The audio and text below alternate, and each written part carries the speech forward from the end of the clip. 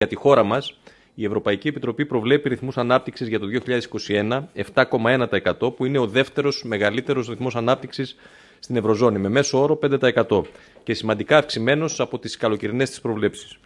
Για το 2022 προβλέπεται ρυθμός ανάπτυξης της ελληνικής οικονομίας 5,1%, σημαντικά υψηλότερος από το μέσο όρο που είναι στο 4,3%.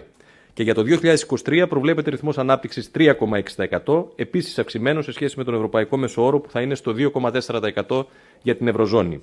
Ταυτόχρονα, οι προβλέψεις δείχνουν ότι η χώρα μας θα έχει το χαμηλότερο πληθωρισμό στην Ευρωζώνη, ενώ θα συνεχιστεί η αποκλιμάκωση της ανεργίας. Έχουμε τονίσει επανειλημμένα ότι δεν θα υπάρξει άλλο lockdown στη χώρα και ότι όσοι έχουν εμβολιαστεί δεν θα υποστούν ξανά σημαντικούς περιορισμούς. Ταυτόχρονα εφαρμόζονται σε συνεννόηση με τους ειδικούς μια σειρά από μέτρα και βρίσκεται σε εξέλιξη ένα εκτεταμένο σχέδιο ελέγχου της στήριξη λειτουργίας των μέσων, εφαρμογής των μέτρων.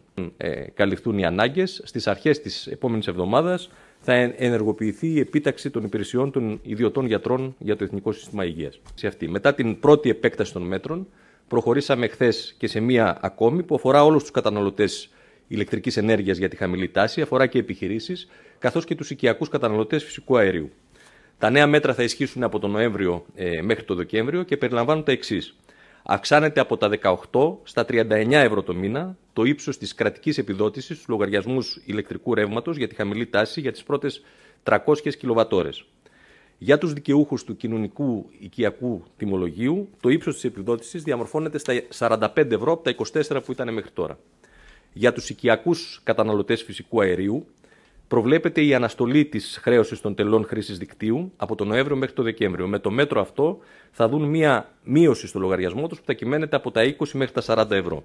Επίσης, αναστέλλεται για χρονική περίοδο 5 μηνών, δηλαδή από τον Νοέμβριο του 2021 έως το Μάρτιο του 2022, η πληρωμή υπηρεσιών κοινή ωφέλεια για επιχειρήσεις με βιομηχανικές χρήσεις χαμηλής και μέσης τάσης, καθώς και για τις λοιπέ χρήσεις μέση τάση. Η του Υπουργείου Εργασίας και Κοινωνικών Υποθέσεων, που ψηφίζεται σήμερα, γίνονται πράξη οι εξαγγελίες του Κυριάκου Μητσοτάκη στη Διεθνή Έκθεση Θεσσαλονίκης για τους νέους, για τους ανέργους, για την ενίσχυση των οικονομικά αδύναμων, καθώς και για ρυθμίσεις οφειλών που προέκυψαν κατά τη διάρκεια της πανδημίας. Συγκεκριμένα, ξεκινά την 1η Ιανουαρίου του 2022 το πρόγραμμα πρώτο ένσημο. Δεύτερον, επεκτείνεται από την 1η Ιανουαρίου του 2022 κατά 50.000 θέσεις το πρόγραμμα των 100.000 επιδοτούμενων θέσεων εργασίας που θεσπίστηκε ως μέτρο για ανάσκηση των παρανεργειών της πανδημίας.